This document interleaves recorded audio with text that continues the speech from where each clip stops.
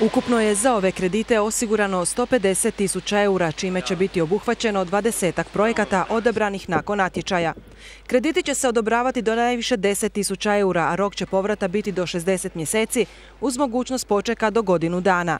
Kamatna će stopa biti 4,25% za kredite uz valutnu klauzulu u eurima te 6% za kredite u kunama. Naknada će za realizaciju kredita biti 0,2%. Ovisno o kvaliteti poduzetničke ideje i traženom iznosu kredita, instrumenti osiguranja kredita mogu biti mjenica, zadužnica, jamstvo ili polica osiguranja života. Cilj ovog projekta mikrofinanciranja potaknuti je dakle poduzetništvo u Osijeku i ovim okolnim gradovima oko Osijeka, te na taj način smanjiti e, nezaposlenost, odnosno potaknuti samozapošljavanje i zapošljavanje drugih osoba. Ciljena populacija su nezaposlene osobe, iz grada Osijeka i okolnih gradova.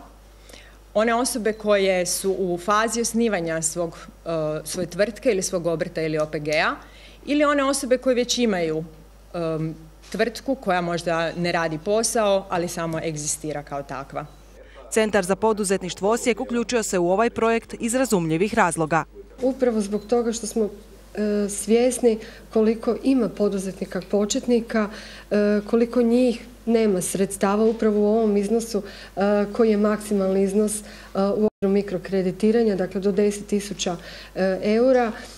Velik je broj upita i nažalost moram priznati da na takvog proizvoda trenutno na tržištu baš i nema. Informiranjem nezaposlenih osoba i sudjelovanjem u njihovoj edukaciji projekt Erste banke podupire i Zavod za zapošljavanje.